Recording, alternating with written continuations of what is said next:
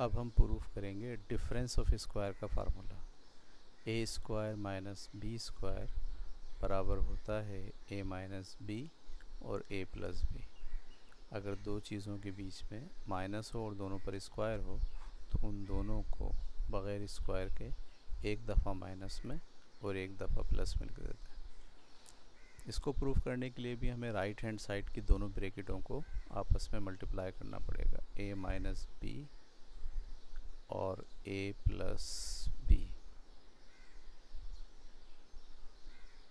पहले ए लिखा और ए के साथ पूरी ब्रैकेट ए प्लस बी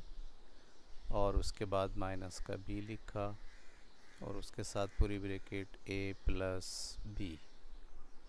पहले ए को ए से मल्टीप्लाई किया ए स्क्वायर ए को बी से मल्टीप्लाई किया ए बी माइनस बी को ए से मल्टीप्लाई किया, माइनस का A B, minus plus minus B को बी से मल्टीप्लाई करेंगे, बी स्क्वायर।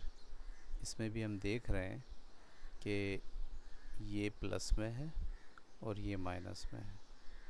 दोनों की साइन मुख्तलिफ़ हैं, दोनों माइनस होंगे। जब ये माइनस होंगे तो एक दूसरे से कैंसिल हो जाएँगे। लिहाजा हमारे पास अब बाकी बचेगा, ए स्क्वायर माइनस का बी स्क्वायर लिहाजा हम कह सकते हैं कि अगर दो चीज़ों पर स्क्वायर हो और बीच में माइनस हो तो उन दोनों को एक दफ़ा माइनस में और एक दफ़ा प्लस में बग़ैर स्क्वायर के लिखते हैं. इसी तरह एक और फार्मूला हम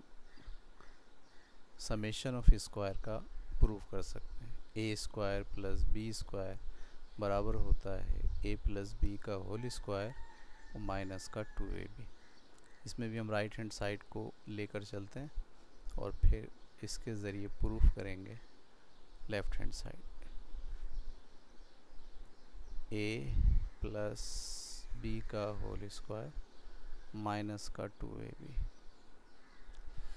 इसका अगर फार्मूला खोल लिया जाए तो ये खुलेगा A square plus two A B plus B square ये माइनस का two A B as it is लिया अब हम यहाँ भी देख रहे हैं कि एक प्लस का टू ए बी है और एक माइनस का टू ए बी अगर इन दोनों को कैंसिल कर दें तो आपके पास बाकी बचता है A square plus B square तो इस तरह हम कह सकते हैं कि A plus B A square plus B square बराबर होता है। ए प्लस बी का होल स्क्वायर माइनस का टू ए बी